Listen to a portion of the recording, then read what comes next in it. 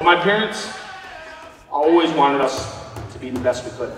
All the things I think about doing, I was thinking about those people before me. I also think about my two little girls too. I want them to live in a better world tomorrow.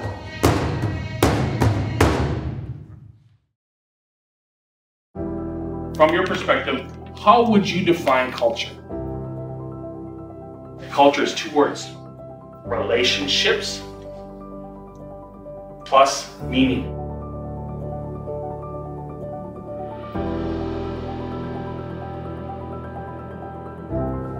David reminds us that representation deeply matters. So, my name is David J. O'Connor. My traditional Anishinaabe name is Bagwagnigwin. When I translate to English, it means broken wing. But the meaning behind that name means he overcomes, never gives up.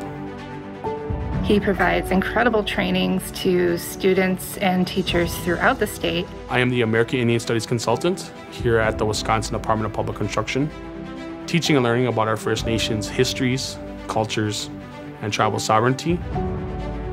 His advocacy towards Act 31 its integration in the school districts is unparalleled.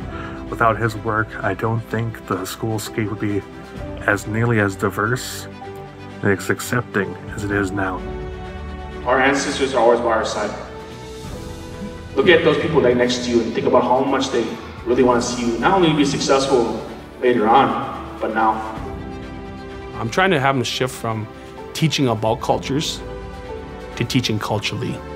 He has been great in making sure they realize that each tribe is different and unique. And we are so thankful for the work that he does. To me, teaching about cultures, like I was taught, classroom educators, that's where you have an opportunity to be engaged in dialogue with your students every step of the way. And David is one of those catalysts of change on the landscape in the educational realm, and that bu bubbles over into good things for humanity what is indigenous histories. So I pluralize it on purpose. A lot of times when I have conversations, people always talk about some Native American history. No, no, it's Native American histories. It's like there's Native American cultures. I think it's a lost opportunity to not look at the vast, amazing cultures out there, our histories are out there of our different indigenous populations throughout the United States. We're very diverse. We have 12 nations in Wisconsin. We have over 574 federally recognized nations across the United States. Plus, we have over 60 plus state recognized nations.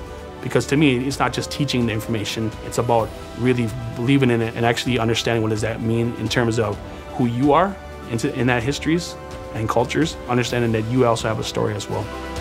I think it's a beautiful example of karmic reciprocity, the universe saying back to David, thank you for your good work, thank you for being a loving, caring person, and uh, keep going. For me, when I think about my two girls, I just want them to be happy. I want them to live in a better world. But just even more importantly, I just want them to be Ava Marie, and I want them to be Eliane and nobody else.